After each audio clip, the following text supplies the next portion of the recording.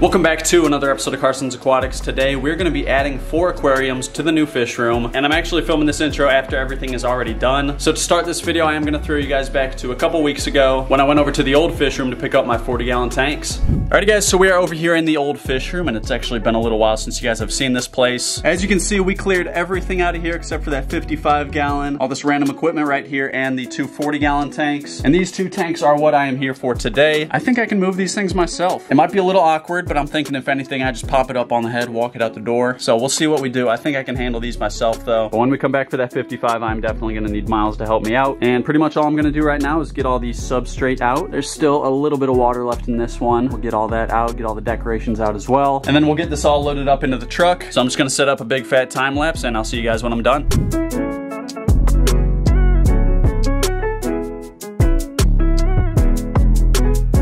Alrighty guys, well we got all the substrate and rocks and everything out of both of the tanks. I also went ahead and took them both off the stand. And now we're gonna start moving all this into the truck. I'm gonna start with this. I'm gonna put one of the tanks on the bottom level and then the other one just next to it in the bed of the truck. So yeah, I'm gonna go ahead and get all this loaded up and then unload it in the new fish room.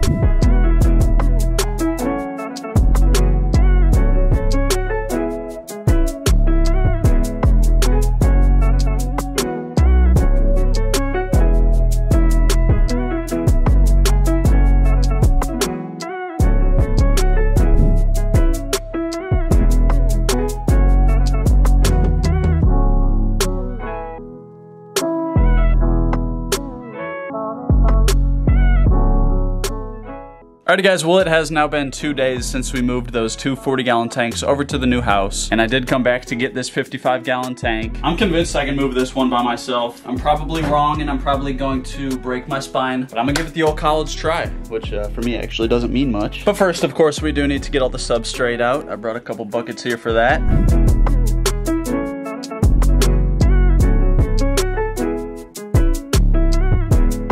All right, so all the substrate is out, and now I just want to see if I can, uh, like, pick this thing up. So I'll get the heater out of here first. Okay, yeah, that's heavy for sure. I think I'm gonna have my dad help me.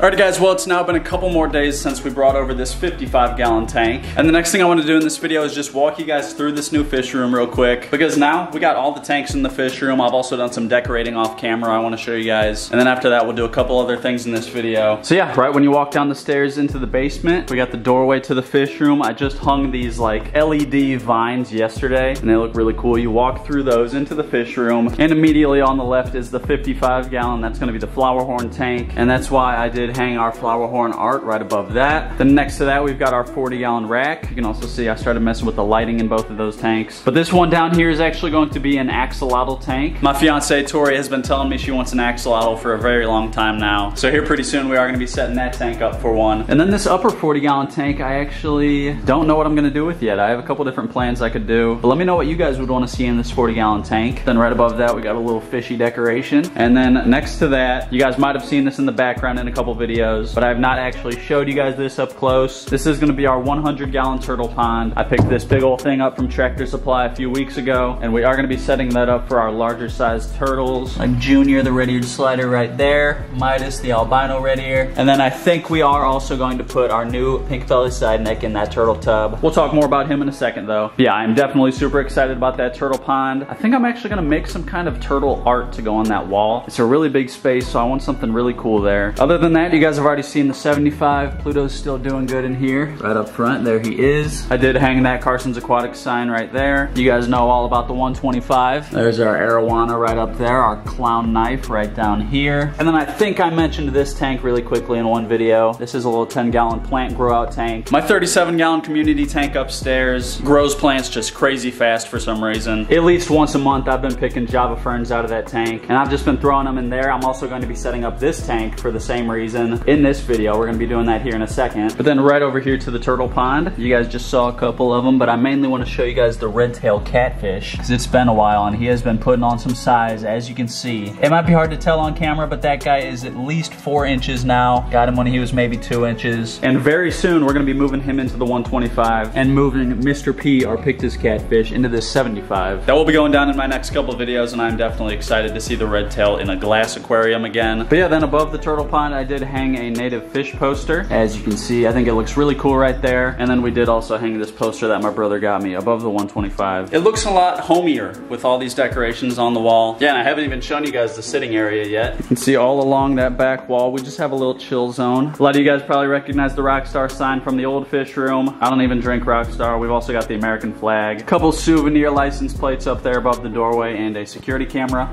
And yeah, that pretty much concludes this episode's fish room tour. I'm definitely happy with how it's coming together. But the next thing I wanna do is actually feed all the turtles for you guys because you have not seen the big pink belly eat yet. And after about a week and a half of offering her food, she finally did start eating. So we're gonna dump in all their pellets right here. Now we're gonna grab all the turtles.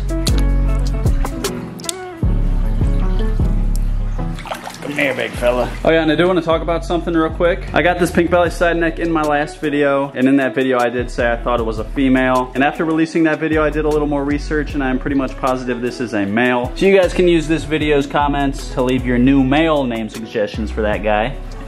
But as you can see right there, our new pink belly is munching. Again, it did take her about a week and a half to start eating. That's normal when you get a new turtle, and I doubt he was fed like this in a separate bucket, so it can also take them a little bit of time to get used to this technique, I guess. But yeah, that's good to see. He is definitely comfortable with us now. But now, while our turtles are busy eating, I am going to start setting up our second 10-gallon plant grow tank. We've got a little container full of substrate right here. This is the same substrate that's in our other 10-gallon, so I'm hoping this is enough to cover the bottom. And then you can see we've already got our sponge filter filter in there. And this tank also looks pretty crusty. So I'm gonna take this out and wash it first. A few moments later. Alrighty guys, so the tank has been cleaned. The substrate has also been cleaned. I went ahead and cleaned that in the tank. And there is enough substrate to fill the bottom of the tank, but I'm definitely gonna take some out of the other 10 gallon and put it in here. But now we are gonna go ahead and get this tank in place. And now let's go ahead and fill this tank up.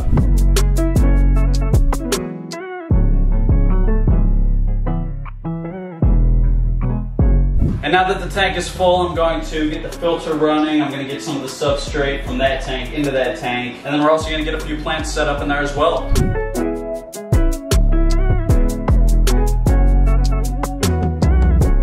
Alright guys, so I'm actually gonna finish setting up that plant tank later. I couldn't get the sponge filter to work. I'm trying to run two of them off of one air pump and I thought this was all I needed, but I'm pretty sure I need another valve. So I'll get all that handled later and you'll see that tank in a future video. But right now there is just one more thing I wanna show you guys. CarsonsAquatics.com. That's right, I now have an official website and right now on this website I am just selling my merch. This new website is just way more organized than my old one. It's just so much cleaner looking. You can see we got the featured products right here and then right down here we got all the collections and I'm actually really excited about this. I just dropped my Pluto collection, and let me show you one of these shirts up close. I stayed up all night last night working on this design. It is my flower horn Pluto with Saturn rings around his head, and then he is in a galaxy. I am super proud of this merch design. This is easily my favorite one that I've made, and I hope you guys like it too. And you know what? This week only, anyone that buys my new Pluto merch will have a chance to have their order reimbursed. Over this next week, I'm gonna choose a couple of you to pay back for your order. So if you guys like the new Pluto design, be sure to pick it up, because hey, it might be free. But yeah, then other than the Pluto design, design. If you guys like the old Aussie design or in the circle glasses, you can get that too. It's all right here. It's all super easy to find. And if you read the description right there, you can actually see what's coming soon for this channel. So yeah, super excited about the new website, carsonsaquatics.com. Be sure to check it out. Other than that, I'm obviously super excited to finally have all of the tanks over here in the new fish room. Now we're gonna start setting them up just like this. 55 is next, and we'll get the 75 set up for our new cichlids. And yeah, it's finally all going down here in the fish room. So that is gonna wrap up this video. Today's comment of the day goes out to